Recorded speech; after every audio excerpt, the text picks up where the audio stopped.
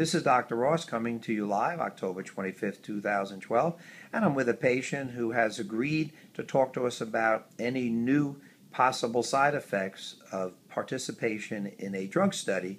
And if you'd be good enough to give me permission to record, this will be used for teaching purposes. Absolutely. All right, so uh, last night you had slept overnight and you've been taking a new study drug um, hoping to help with memory. And since you've begun this study and the study drug or placebo, have you noticed any new findings in your body and any new conditions you'd like? That's her phone ringing Slight right fatigue. Um, and I have had some weight gain. I feel a little bit as if um, the um, antihypertensive diuretic is not as effective as it has been. I seem to be holding a little water and slight weight gain. Can you tell me when uh, these symptoms started? How soon after you began the study drug? I think possibly um, maybe after the first week.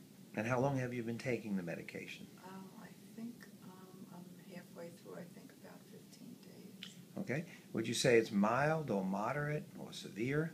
Mild. Okay. Is it continuing um, each day? the, You notice um, the, the that fullness the or water the retention? yes?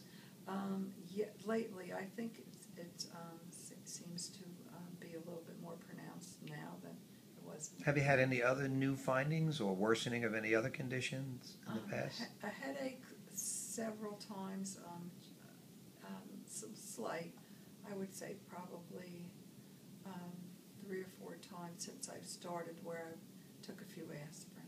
I see.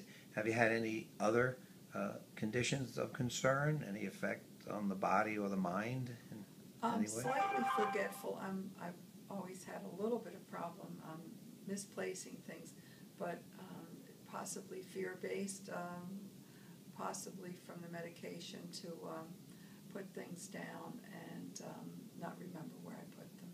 All right. Thank you so very much, and we'll be following up on these until they go away. Hopefully, they will soon. Thank you. Great.